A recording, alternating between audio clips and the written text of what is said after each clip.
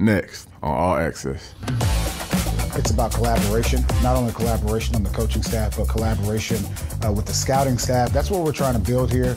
In terms of football character, like he's everything that we're looking for. I do think at the end of the day, he'll be able to enter our program and do well.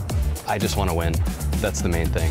Very competitive, um, and I want to win the right way. There's a lot of change, and I'm excited to be a part of that change and hopefully lead these guys and build a little culture here that we can uh, carry for years on end.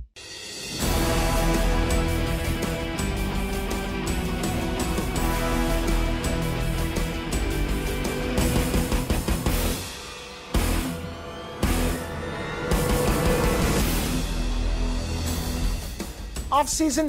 What off season? The Patriots' new era is off and running.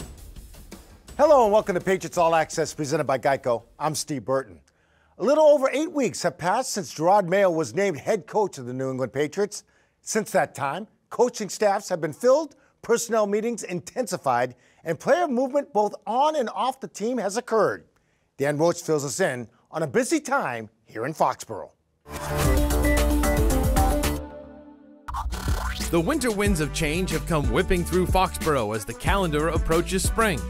And I'm very happy with the coaching staff that we have. Jerod Mayo has assembled his coaching staff, which will be noticeably larger than in the past. There'll be some familiar faces with new titles, such as defensive coordinator DeMarcus Covington. Good base, good footwork.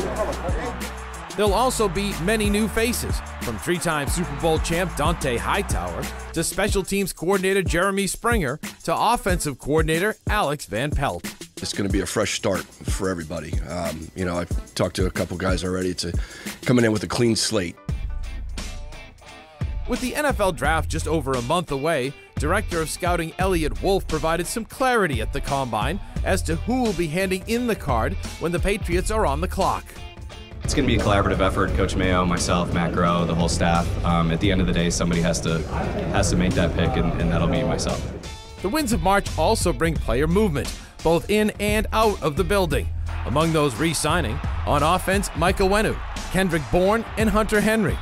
On defense, Anfernee Jennings and Josh Uche.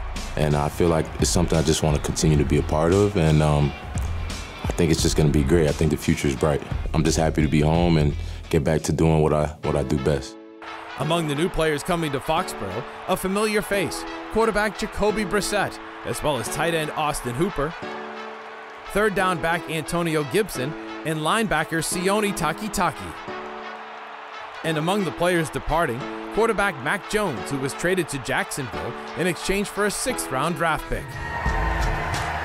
With the third pick. As for the process, free agency is a part of roster building, but long term success, according to the Patriots, comes from the next step. To sustain greatness or to, to get back to winning ways, we have to draft well, and we got to be ready to pivot as soon as uh, free agency is over.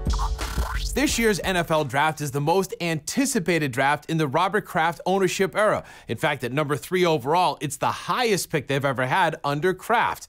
Yes, April 25th is going to be a special night. For Patriots All Access, I'm Dan Roche. All right, Dan Roche, thank you very much. And our Bob's Discount Furniture Studios with Mike Reiss and Paul Perillo. Good to see you guys. Hey, Steve. You too, Steve. First wave of free agency has already come and gone. No surprises, no fireworks. What'd you think? Definitely no fireworks, um, and I'm mildly surprised by that, Mike. I didn't think we would get a repeat of 2021. I think sort of time has told us that's really not the, the best way to go about it, but I did feel there could be an individual or 2 Mm-hmm. that they would strongly target and, and land. And, you know, obviously that to me was Calvin Ridley. Yeah. They reportedly were really, uh, you know, interested in bringing him, interested in giving big bucks and got outbid. So that was unfortunate to Here's me. how I would sum up the dynamic to me. They have a lot of work to do. Okay. They have a lot of holes. And some of their best players were coming up on the end of their contracts. So if they didn't re sign Right. their own players, they were going to have even more holes than they already had to start with. So they're almost treading water, is what I would say at this time. Mac Jones out, Jacoby Brissett in. Yeah, not overly surprising. You know, I don't think either way, Steve. I, I think with Mac Jones, I think the time had sort of come. I think you kind of owed it to him too. You know, not, not only he was struggling here, but I think that he wanted out of here, Mike. Right? So I thought it was a, a, a good move by the team to sort of let him go. Fresh start Yep. needed for all. Jacoby Brissett, good bridge with a rookie quarterback. All right, you guys. Well, Mike, you bring up an excellent point because we'll be talking about rookie quarterbacks later on in the show. We'll be back more Patriots All Access right after this. You're watching Patriots All Access. Patriots All Access is brought to you by Bank of America, official bank of the New England Patriots. By Toyota's official website for deals, buyatoyota.com.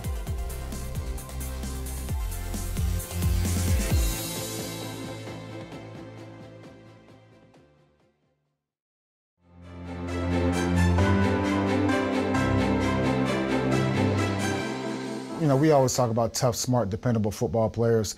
Um, I also think accountability is one of those things that uh, we really have to, to nail home. Now, look, you look at our roster right now, who knows where, where it will end up in the summertime, but at the same time, you know, during the offseason program, you can kind of get a good gauge of the toughness of your team. As the league year officially kicked off this week, several Patriots veterans chose to re sign with the team. I'm excited about kind of the new era and being a part of that. There's a lot of change, and I'm excited to be a part of that change and hopefully lead these guys and build a little culture here that we can uh, carry for years on end. The Patriots were the organization to give me a chance in the NFL. The New England Patriots select Josh Uche, linebacker, Michigan. And it's like family. Um, feels like home, and um, there's nowhere else I'd rather be than home. Well, the club added new players at the start of free agency. When I was here before, I'm 31 now, so uh, definitely probably the oldest in my room. But uh, you know, I'm excited. You know, a good opportunity and uh, ready to get this thing going. It's crazy. I never thought I would be here. Um, they have a history of, of, of winning and um, you know and being at that at that top spot where I want to be. So uh, you know, I'm glad to be here. I know that the tradition is great, and I heard the fans are really great.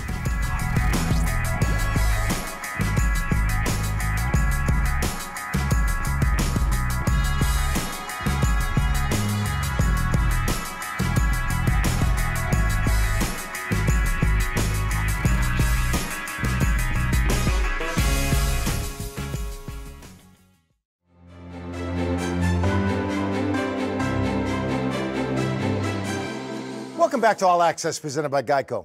The annual combine in Indianapolis gave us an opportunity to see and hear from some of the new decision makers for the Patriots. Let's go behind the scenes at the combine presented by Gillette Labs.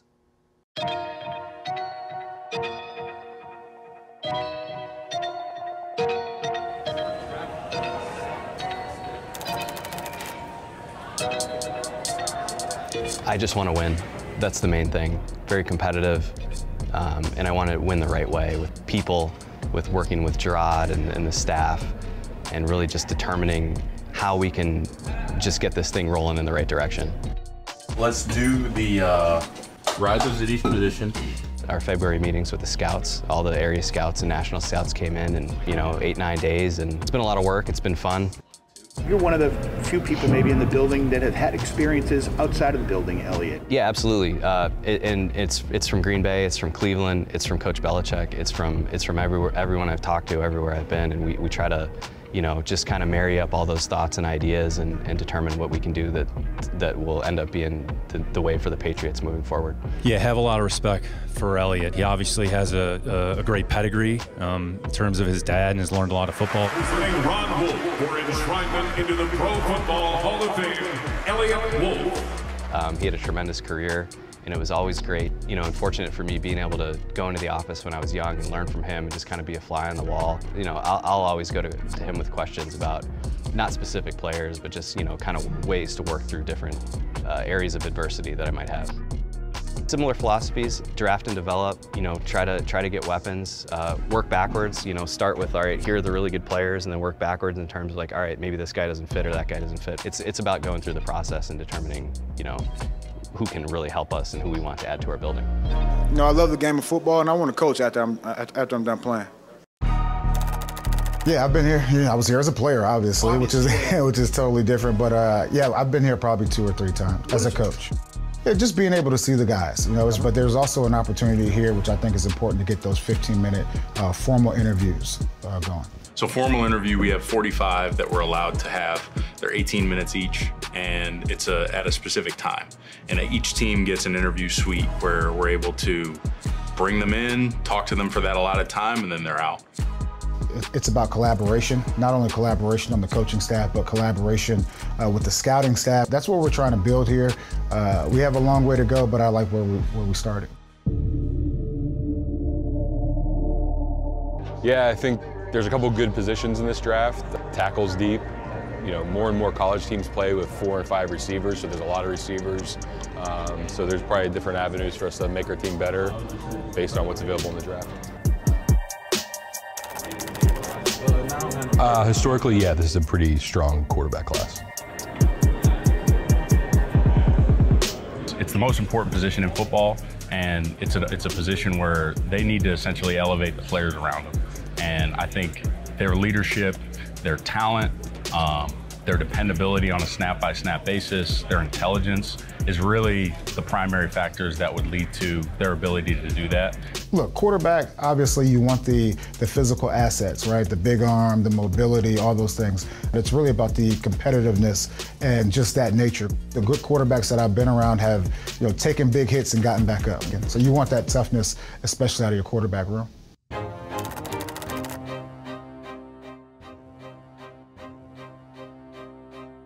Yeah, actually, just wanted to get together to catch up on some of these interviews that you all have had. I think, you know, between formals, you know, the windows are super short. We don't really have a ton of time to talk about the players. And then informals, I haven't been around between, you know, the three of you, Josh, JT, and Alex. Hearing his story for the first time, knowing that my first time ever meeting him, he's not in my area, he's in your area, JT. So that crossover was good. Really nice kid. He means well. He's tough. He's accountable. I just, I think it's really a project. I loved him in terms of football character. Like he's everything that we're looking for. I do think at the end of the day, um, he'll be able to, you know, enter our program and do well.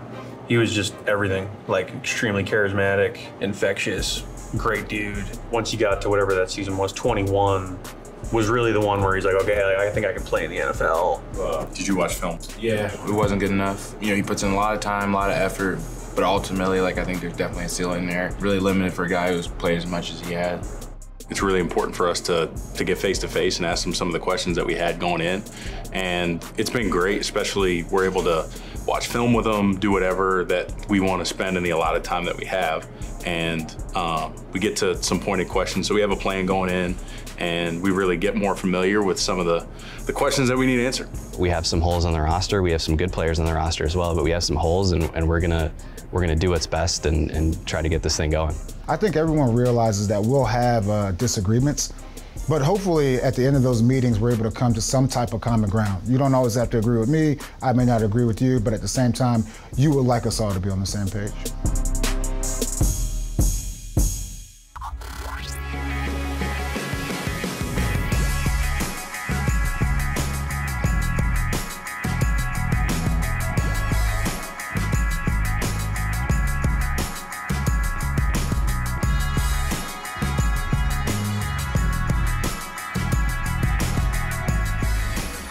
Patriots All Access is brought to you by Cross Insurance, the official insurance broker of the New England Patriots. By Bank of America, official bank of the New England Patriots.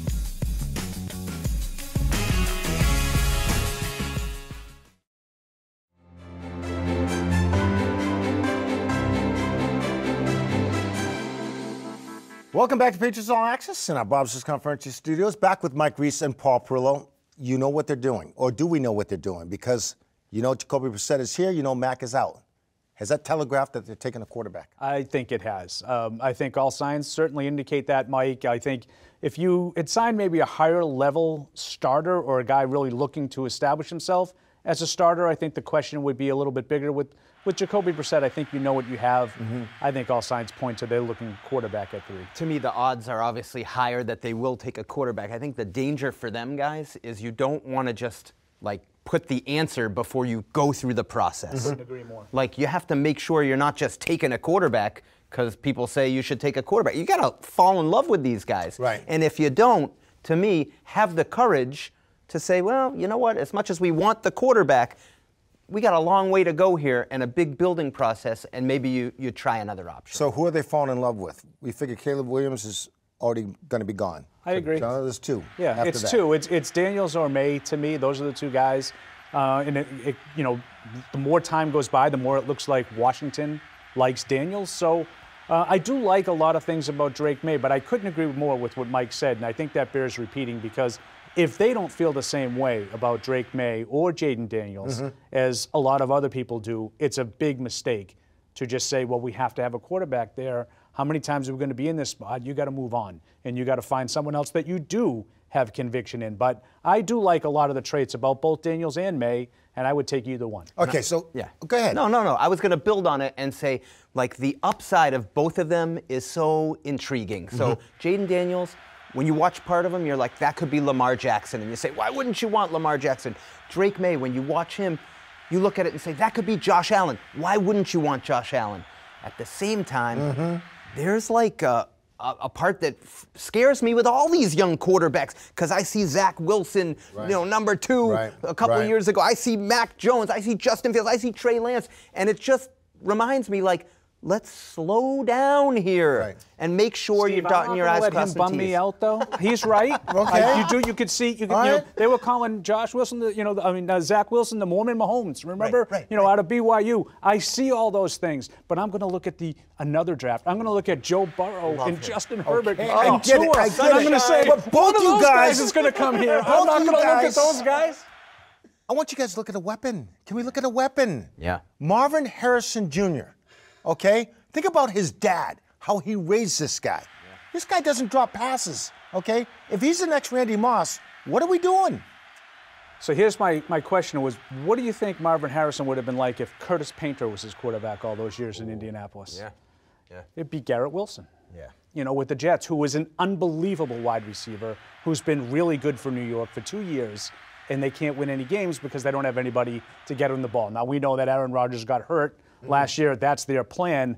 But that would be my concern with Marvin Harrison. Not his talent. I think he's a terrific player. I think there are a lot of really strong receivers in this group.